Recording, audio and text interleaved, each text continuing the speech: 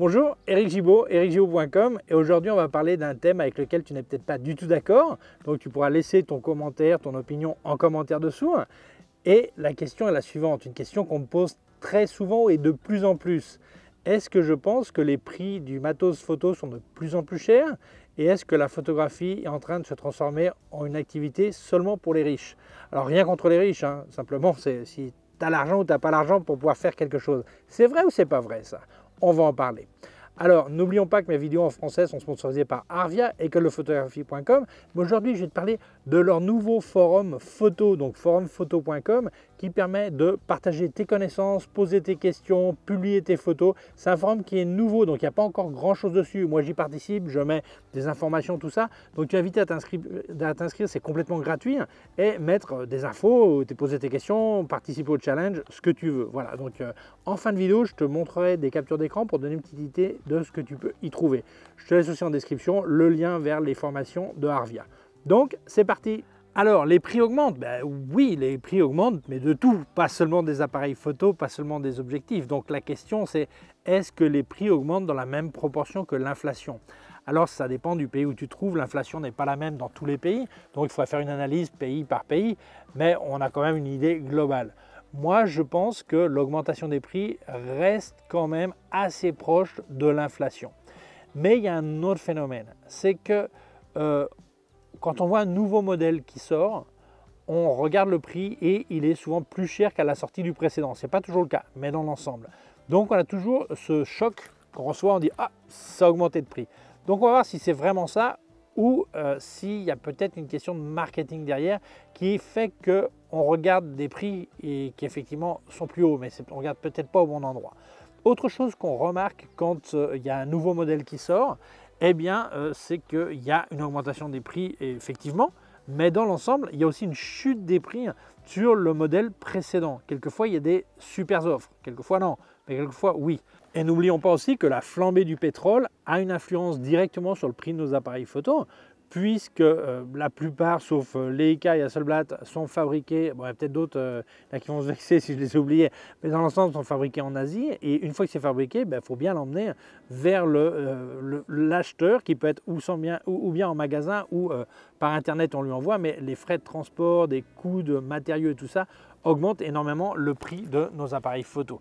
Donc, il faudrait voir exactement ce que tu regardes. Donc, on va voir la notion de gamme d'appareils photo et aussi euh, la notion euh, de, pour qui, pourquoi et, le marketing qui se fait autour des appareils photo. Alors, si jamais tu voulais me filer un coup de main et que tu allais acheter du matos photo, eh bien, si tu le fais chez Digit Photo, comme à l'écran, là où ça marque code créateur, si tu marques Gibo, ça me file une petite aide et ça ne te coûte pas plus cher. Et si tu as un code promo, tu peux aussi l'utiliser, évidemment, c'est complètement compatible. Merci beaucoup. Continuons. Alors, je pense que si on regarde un petit peu l'histoire de la photographie, Autrefois, il n'y avait pas Internet, il n'y avait pas toutes ces, informations qu'on a de nos jours, et c'était vraiment bien divisé entre professionnels et amateurs. Donc, si tu achetais un magazine euh, pour amateurs, eh bien, tu voyais euh, tel modèle Nikon, par exemple, qui te plaisait et tout ça, mais probablement dans ce journal, il n'y avait pas un Nikon F5 ou un F4 euh, qui était utilisé par les pros.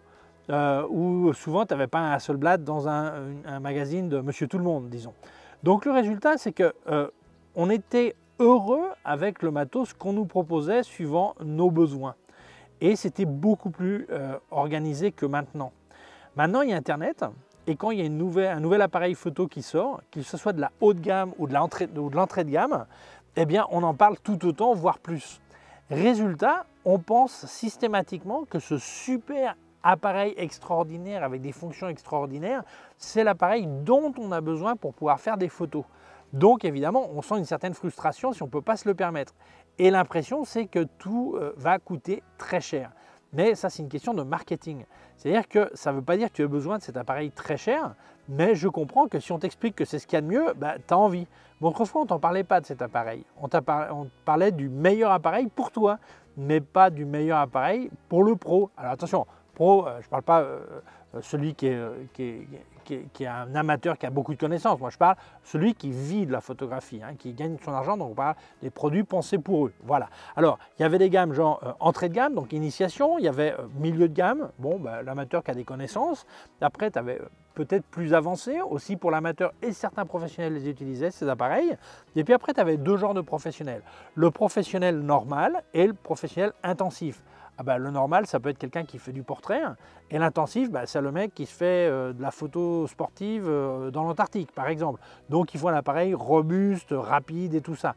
Donc il y a vraiment ces gammes qui existaient et qui existent encore, mais euh, les plus hautes gammes, on n'en parlait pas.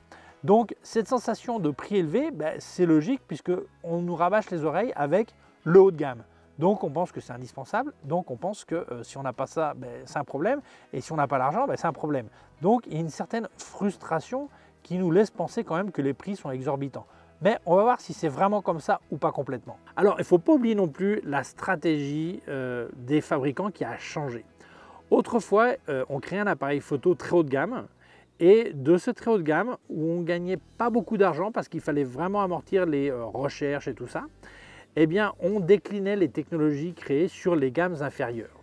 Donc on gagnait pas beaucoup sur le, haut de gamme, mais on gagnait euh, énormément quand on euh, mettait les, technologies sur tout le reste, vraiment jusqu'en bas, jusqu'à l'appareil du débutant.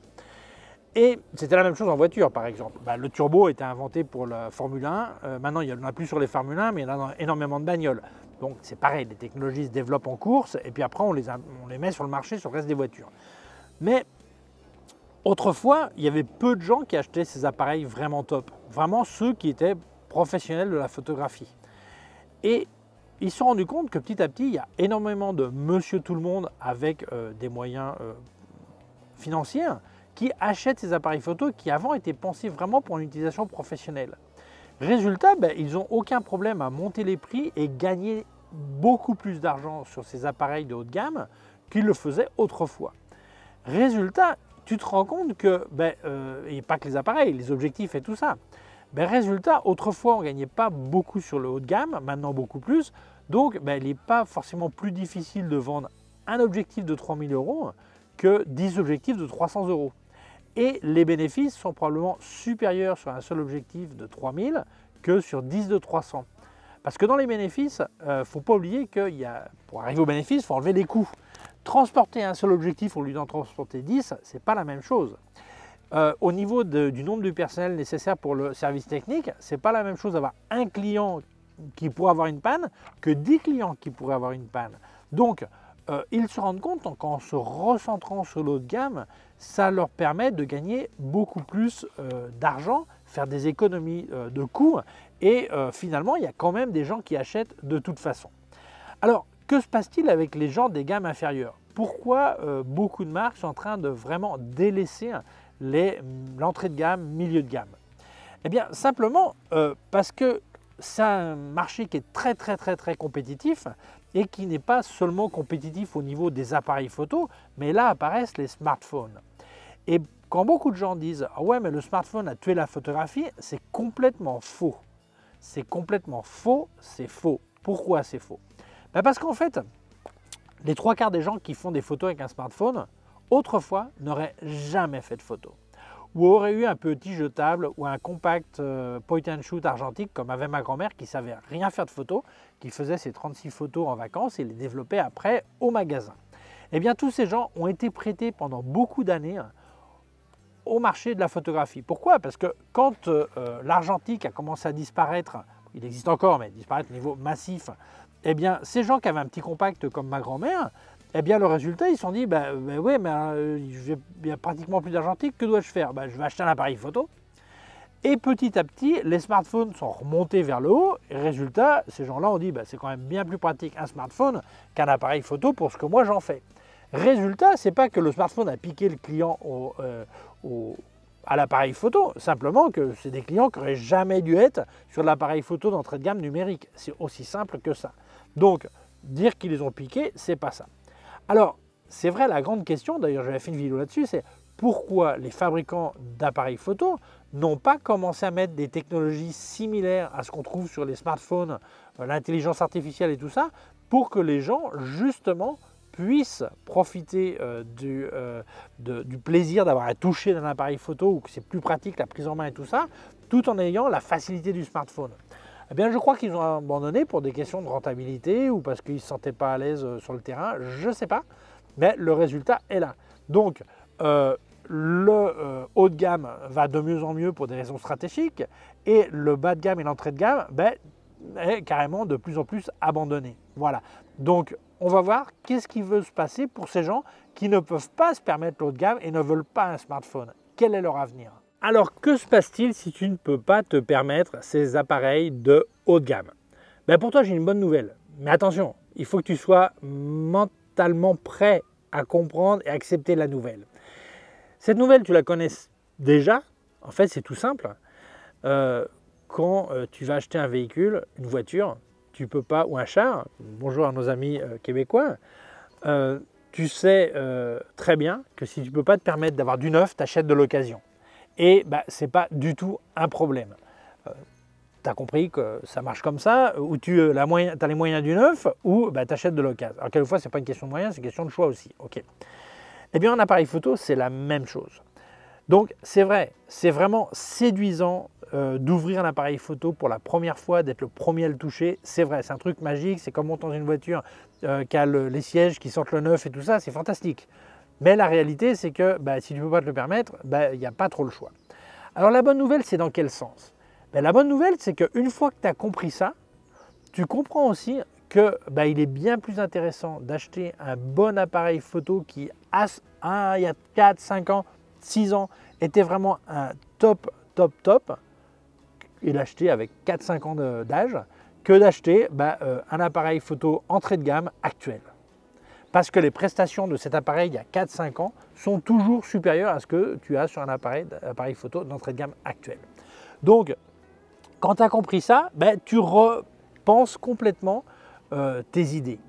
Alors, ça veut dire par exemple que euh, quand tu analyses tes besoins, si tu vois que les besoins que tu as correspondent à un certain niveau d'appareil photo, par exemple, bah, protection de la pluie, euh, la poussière, euh, la vitesse de l'autofocus, je plusieurs trucs comme ça, et que tu te rends compte que l'appareil photo euh, que tu peux te permettre en neuf, c'est de l'entrée de gamme ou du moyen de gamme, et que tu n'as pas ces prestations, eh bien, au lieu de, de te déprimer parce que tu ne peux pas te permettre le haut de gamme actuel, regarde sur l'occasion un truc qui a 3, 4, 5 ans et qui t'offrira bien plus que l'entrée de gamme. Alors j'avais fait une vidéo, je te laisse le lien ici, expliquant euh, les risques d'acheter d'occasion, ce qu'il faut faire attention, ce qu'il faut vérifier, tout ça. Donc je t'invite à regarder. Moi je pars du principe que euh, tu achètes euh, en bonne condition et ce n'est pas un truand qui te le vend. Il y a aussi beaucoup de magasins qui vendent d'occasion, donc il faut regarder aussi. Donc si tu veux, moi je pense que l'évolution de, de la photographie, ça va être ça. Ça va être comme la voiture. Il va y avoir les gens qui ont les moyens qui achètent du haut de gamme, et les gens qui n'ont pas de moyens, qui achètent de l'occasion. Et on va avoir de moins en moins d'entrées de gamme, où je veux dire le ticket d'entrée dans la photographie va commencer sur des appareils qui sont plus chers qu'avant, ou alors vraiment s'ils sont pas chers, ils sont vraiment... Euh, euh, ils ont enfin un striptease de, toutes les, de, toutes les fonctions, donc ils sont vraiment minimum. Donc le ticket d'entrée va être plus élevé. Donc pour éviter ce ticket d'entrée plus élevé, bah, autant euh, taper directement plus haut, mais plus ancien. Moi je pense que c'est la meilleure stratégie. Alors, qu'est-ce que je pense de ça? Eh bien, moi, je trouve que, j'ai dit il n'y a pas longtemps en, rigolant, euh, quand j'ai fait ma, vidéo en parlant de, la stratégie du OM System de Olympus, beaucoup de gens euh, m'ont critiqué, d'autres euh, non, pas du tout, qui étaient complètement d'accord. Et je me suis rendu compte en fait que les commentaires étaient différents suivant les pays. Les gens qui ont des moyens des pays d'économie plus défavorables étaient complètement d'accord avec moi. Et les pays où ils n'ont vraiment aucun euh, problème pour acheter un appareil photo haut de gamme, euh, ben, ils ne comprenaient pas trop de quoi je racontais. Euh, parce que pour eux, bah, ouais, ouais je prends du haut de gamme, bah, c'est bien, ouais, je peux le payer. Voilà. Et ce c'était pas, pas une critique hein, de, vers eux, hein, simplement bah, qu'ils ne se rendent pas forcément compte de la situation de, beaucoup de gens dans, le monde.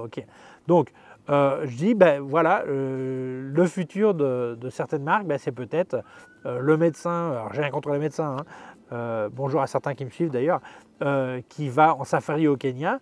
Et lui, c'est aucun problème d'acheter un boîtier à 3000 euros et un objectif à 10 000. C'est pas grave. Euh, il a les moyens, il l'achète, il se fait plaisir.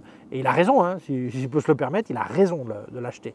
Donc, Le problème, c'est que beaucoup de marques ne voient plus que ce genre de clients et oublient toute la base. Alors, moi, d'un côté économique, bah, ça me semble logique qu'une entreprise fasse ça, mais ils oublient le côté historique de deux côtés. D'un côté, il ne faut pas oublier que toutes ces entreprises ont survécu grâce à l'énorme quantité de gens qui ont acheté du entrée de gamme, du milieu de gamme et moyen de gamme. Quand euh, les gros appareils les plus chers n'étaient pas rentables, simplement c'était euh, des laboratoires pour euh, intégrer ensuite les technologies sur les gammes inférieures, eh bien ils gagnaient vraiment leur argent sur les gammes d'en dessous. Donc fermer les portes sur ces gammes inférieures, ben, ça me semble socialement injuste. Mais là, on n'est pas en train de parler de la Croix-Rouge, on est en train de parler d'entreprises qui gagnent de l'argent. Donc bon, là, ben, on ne peut pas trop rien dire sur leur stratégie, même si moi je ne suis pas d'accord. Mais pourquoi je ne suis pas d'accord? Ben, Je ne suis pas d'accord parce que tous les fondateurs de ces entreprises, que ce soit Nikon, que ce soit Canon, que ce soit Pentax, que ce soit Olympus, c'est euh, des entreprises, c'était avant tout des photographes, des passionnés de la photographie. Et l'origine de leurs entreprises, c'était euh, permettre aux autres gens de faire de la photographie de manière souvent plus facile et mm, pas trop chère. Donc, ils avaient vraiment, euh, ils ont fait beaucoup pour la photographie, pas autant pour le business, mais beaucoup pour la photographie. Et leurs héritiers, que ce soit euh, les héritiers euh, par sang ou les actionnaires de ces entreprises, ont complètement changé leur philosophie. La philosophie, c'est pas d'apporter quelque chose à la photographie, mais d'apporter de, l'argent à l'entreprise avec la photographie. De nos points de vue complètement différents. Et je trouve que, alors c'est peut-être, euh, mon point de vue est peut-être très romantique, très beau et tout ça, mais euh, la réalité c'est ça. Euh, le créateur de, Nikon, de Canon et d'Olympus, qui sont vraiment les, trois forts, ou de Leica, Oscar Barnack par, exemple, ben, leur philosophie c'était pouvoir démocratiser la photographie et en aucun cas c'était d'en faire un truc élitiste. Donc je trouve ça quand même dommage, mais bon, euh, s'il n'y avait que ça sur la Terre qui déconnait, ben, ça ne serait pas grave. Quoi. Voilà. Il y a d'autres trucs peut-être plus urgents ou plus graves ou plus tristes. Et donc en fait, ben, je trouve que ces entreprises ont perdu de vue, vue la mentalité originale de leurs créateurs. Et ça, c'est dommage. C'est dommage. Et finalement, ben, on paye tous. Voilà.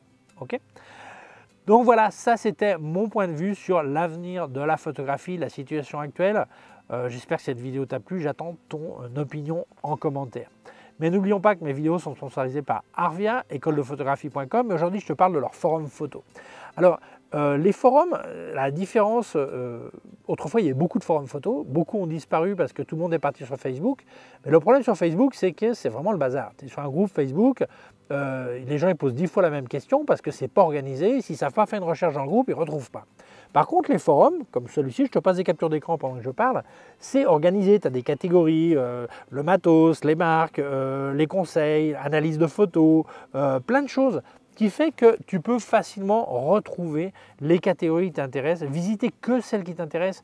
Par exemple, bah, toi, tu veux savoir comment euh, retoucher euh, tes RAW en Dark Table, bah, tu vas regarder que cette partie. Tu t'embêtes pas à avoir plein d'autres commentaires qui n'ont rien à voir.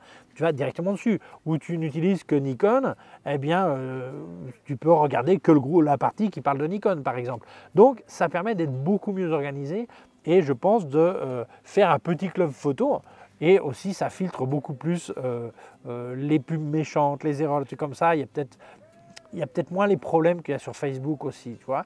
Donc euh, moi je pense que c'est un truc qui est super intéressant. Alors ce groupe et ce groupe pardon, ce forum est récent, il est tout tout récent, forumphoto.com et moi j'y participe en mettant des publications.